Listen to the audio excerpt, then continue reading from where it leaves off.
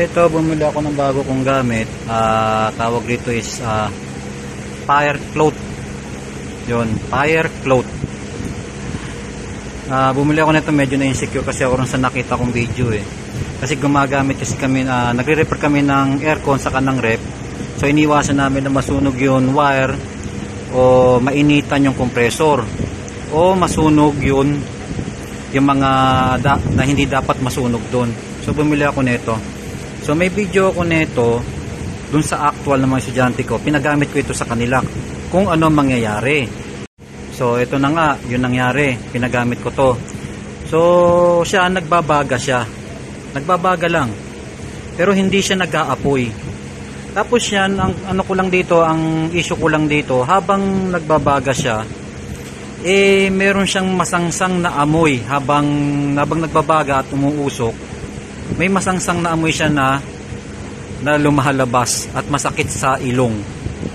Yun lang ang ano ang comment ko lang dito sa sa fire cloth na ito na tela. Tapos dahil lang sa masangsang siya eh ginawa ko pinababad ko sa kanila ito sa tubig.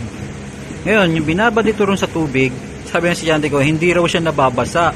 Pero, nag-absorb siya ng tubig. Ngayon, okay lang, nag-absorb siya ng tubig, hindi raw nababasa, pero nag-absorb siya ng tubig. So, para hindi siya magamoy, pinano ko siya sa tubig, tapos yan sinubukan namin ulit. So, nagbab, nag-ano siya, ah, okay naman, nawa, nawala yun, ano, yun masangsang na amoy niya habang habang naluluto siya ng apoy. Pero, ang galing ha, hindi siya nag-aapoy. Ang galing. At hindi nasira yung wiring na nandun sa may tabi ng ng ano ng compressor ng rep. Kasi doon ko siya pinantakip eh. Tapos yan, syempre, meron doon sa gilid na meron may styro, tinakpan din ito. So hindi rin siya nasunog. Ang galing. So ito lang review ko rin sa kanya tapos yan panoorin nyo na lang yung actual video nito na naghihinang yung mga estudyante ko na gamit ito. Panoorin nyo na lang. So ayan, uh, nakita nyo na po kung paano siya ginamit at kung ano nangyari sa fire, fire cloth na ito o tela. Kung ano nangyari sa kanya.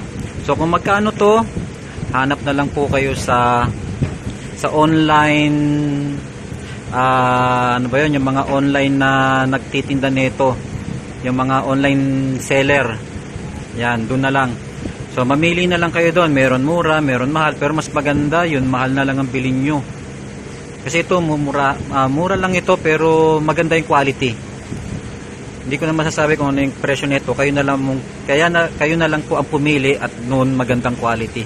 Basta kung pipili ho kayo uh, checkin nyo po yung kanilang mga comment kung maganda o hindi.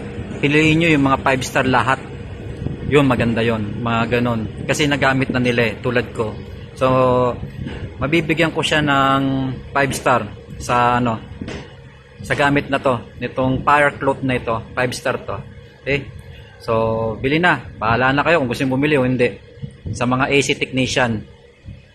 So yan ang review ko po rito sa fire cloth na ito.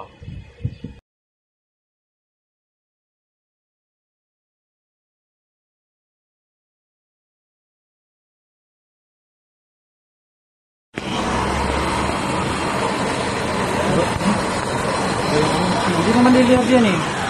Amoy lang kasi bago. So basa natin. Basahin mo yung tubig. Basahin mo na, tanong na yan. Pa ah, fire clock yan eh. Basahin mo na ng tubig para hindi maamoy. Pala ng fireman yan. Ha?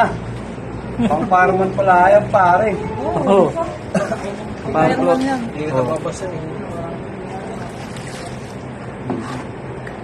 Oh, sige, lagay mo dyan. Bago lang kasi. Lalo mo latik. Nasa loob. Para hindi masunog yun ano, yung ano niya. Oo. Oh.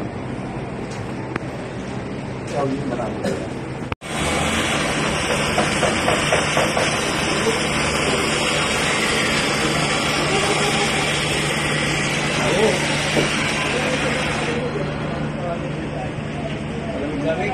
Aba,